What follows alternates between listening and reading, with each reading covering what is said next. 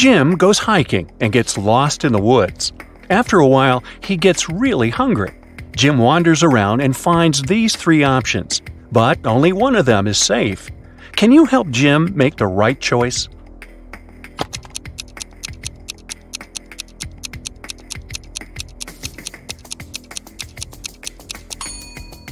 All the footsteps are leading to this berry bush, but not a single animal walked away from it, so the berries are probably poisonous. There's a scorpion creeping around these delicious bananas, so Jim should choose the apple tree. Timmy is packing bags for a hike in the mountains. Can you sort out extra items?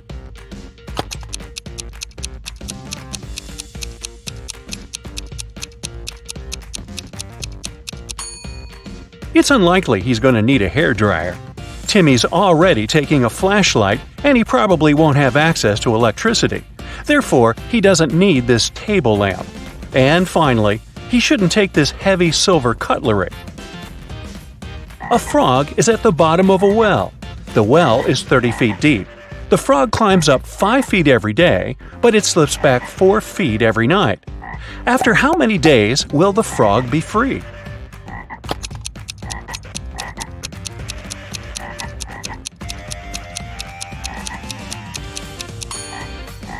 26 days. Wow. The frog climbs up by just one foot per 24 hours. So, in 25 days, it will be at the level of 25 feet. And on the 26th day, it will make the final 5 feet jump and get out of the well. Billy here wakes up in a creepy cave and finds four tunnels leading outside. He only has one chance to escape. There's a hungry tiger inside the first tunnel. The second tunnel is filled with dust and spider webs. Yuck! There's a water filled tank with sharks inside the third tunnel. And the fourth tunnel is full of venomous snakes. Uh-oh. Which tunnel is more or less safe to enter?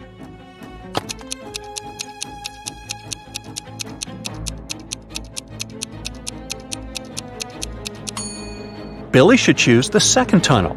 There are no spiders in this picture, only the webs.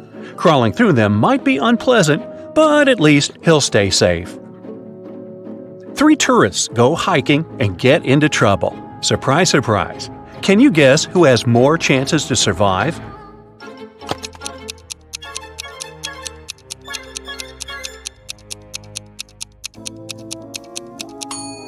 The third person. Although rats are gross, they're not fatal. Diana's boat was wrecked, and she ended up on a tropical island.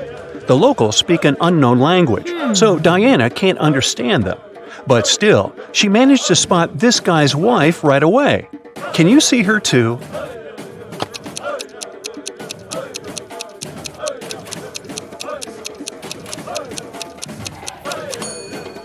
It's the third lady. They have similar tattoos. Wendy is walking in the woods and falls into the trap of evil elves. She offers their king a deal. If I write your exact age on a piece of paper, you'll let me go. The king agrees and gives Wendy a piece of paper and a pen. In a minute, he lets her go. How did she do it?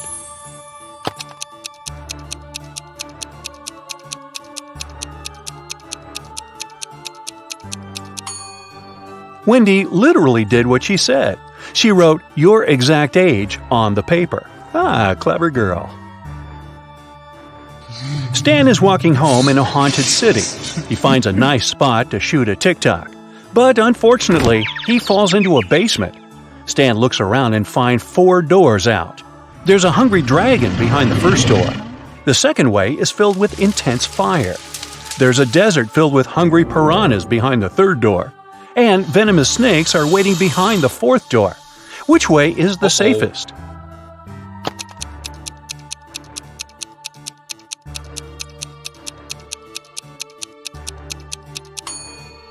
The third one. Piranhas live in water, so they wouldn't manage to survive in the desert. Therefore, they're not dangerous for Stan. Jessica gets lost in the desert with just one small bottle of water. She has no clue where the nearest water source is. What would you suggest? Run as quickly as possible to find more water? Pour all water on her head to avoid sunstroke? Find a shady place and rest? Stay where she is and shout for help as loud as possible.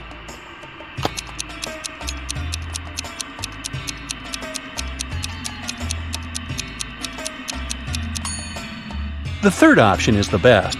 When it gets darker and cooler, she can walk further and find help. Tilda is boarding a private jet. The crew greets her, and she spots an imposter among the crew members right away. Can you see this person too?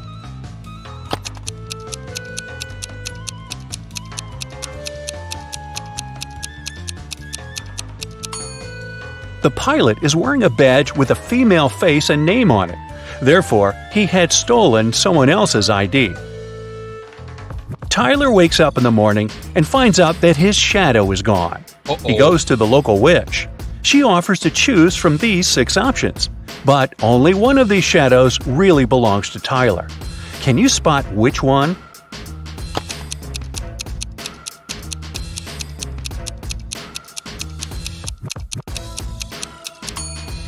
Only the first shadow fits perfectly. Nina and Sarah are both fond of swimming, but one of them is making a big mistake. Can you guess who?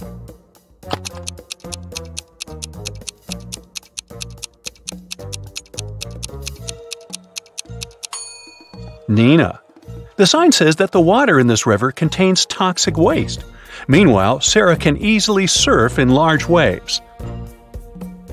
Kyle and Betty go to a remote village to spend a romantic weekend.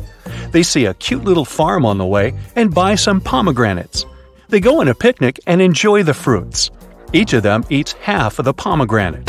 In 10 minutes, Kyle gets very sick. Betty takes him to the hospital. Doctors check everything and come to the conclusion the pomegranate was poisoned. Kyle and Betty ate the same food and drank the same drinks all day. How is it possible that Betty still feels well?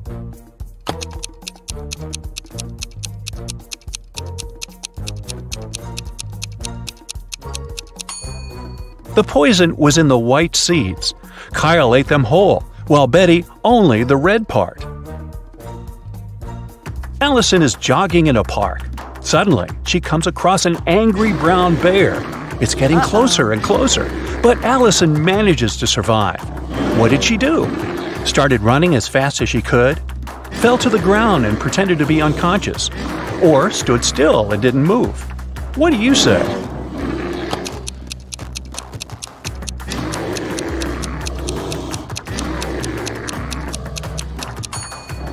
Usually, brown bears only attack people when they're surprised or feel threatened. Allison fell to the ground, and the bear didn't consider her dangerous. Peter is hiking in the middle of nowhere. Suddenly, he sees a mountain tiger in the distance. He's trying not to panic and begins to look for a place to hide. There are three possible options, but only one of them is more or less safe.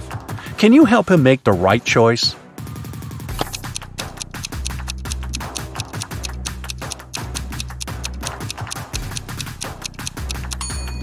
If Peter climbs this tree, the tiger can easily get him there.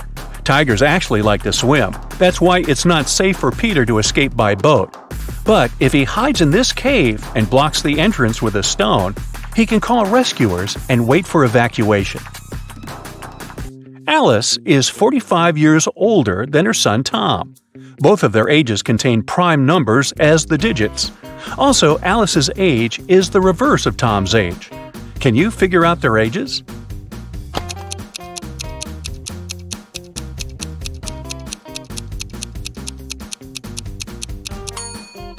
The only single digit prime numbers are 2, 3, 5, and 7.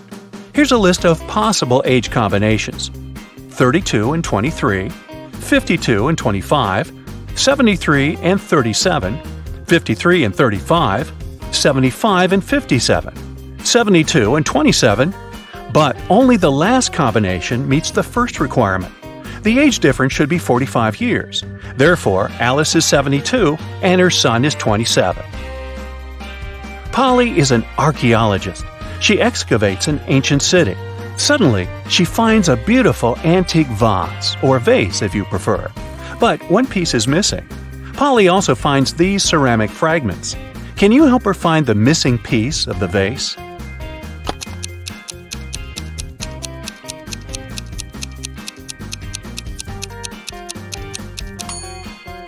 The fourth fragment fits perfectly.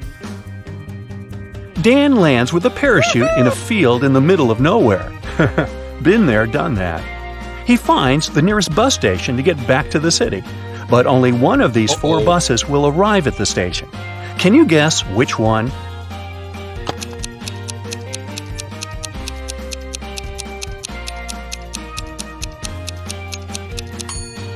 It's the second bus. You can crack this maze much easier if you start drawing from the final destination. Amy leaves her workplace to go to the bathroom. She returns and finds out that someone had stolen all the oh, cash from her wallet. Amy checks the wallet surface for fingerprints, but she only finds her own.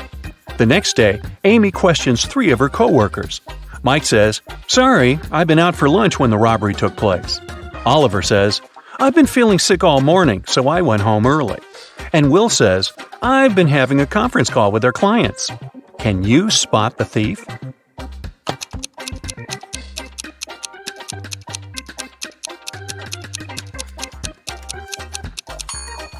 It's Oliver.